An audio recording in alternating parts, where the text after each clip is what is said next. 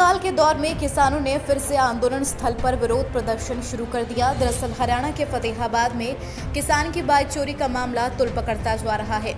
जहाँ इसी कड़ी में टोहाना में किसान संघर्ष से जुड़े किसानों ने आज हरियाणा के गृह मंत्री अनिल विज की शव यात्रा निकालते हुए प्रदर्शन किया।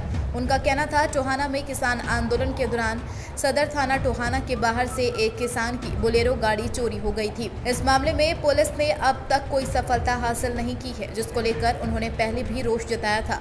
14 जून को प्रदर्शन किया गया। उन्होंने कहा, यदि आने वाले 23 जून तक पुलिस के द्वारा चोरी की गई गाड़ी बरामद यहीं की गई तो किसान बड़े स्तर पर रोड जाम या टोहाना बंद का आह्वान भी कर सकते हैं।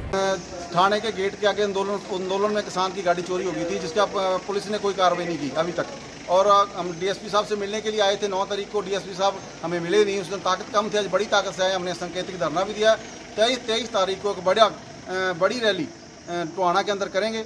और जिसमें टोना बंद करने का ऐलान भी किया जा सकता है और जहाँ मेन चंडीगढ़ रोड है, हाईवे बंद करने का फैसला भी लिया जा सकता है। संयुक्त मोर्चे के नेताओं से सलाह मशवरा करने के बाद ये फैसला लिया जाएगा और तमाम संयुक्त मोर्चे के नेताओं से भी अपील करेंगे कि तेईस तारीख को वो टोना आए, क्योंकि ये किसान की गाड़ी खुई है। यदि किसान की गाड़ी ना मिली तो जो विरोधी है, वो ऐसा प्रचार करेंगे भी आंदोलन में जाने से नुकसान हुआ है इस किसान को। और ऐसा हम होने नहीं देंगे। हर जो पुलिस की ज़िम्मेदारी बनती है पुलिस ज़िम्मेदारी से भाग रही है और हम हर हाल में गाड़ी को बरामद करने के लिए एक बड़ा आंदोलन करेंगे। तो डीएसपी ने क्या आश्वासन दिया जाए डीएसपी साहब ने अभी आश्वासन दिया अभी हम उसको ढूंढ रहे हैं जल्दी ढूंढ देंगे। यदि ढूंढ देंगे तो अच्छी बात है मगर मेरे को लग नहीं रहा भी ढूंढेंगे।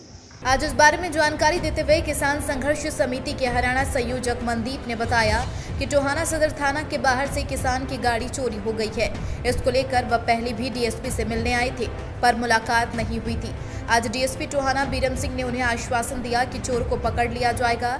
यदि इस मामले में कोई उचित कार्रवाई नहीं हुई तो आने वाले समय में वह बड़ा प्रदर्शन करेंगे। आज किसान संघर्ष समिति के सदस्य व किसान मोर्चा के सदस्य भारी संख्या में टोहाना के हिसार रोड पर स्थित पक्का किसान मोर्चा से प्रदर्शन करते हुए टोहाना के लघु सचिवालय पहुँचे। उन्होंने अपने कंधों पर गृह मंत्री अनिल विज का पुतला उठाया था।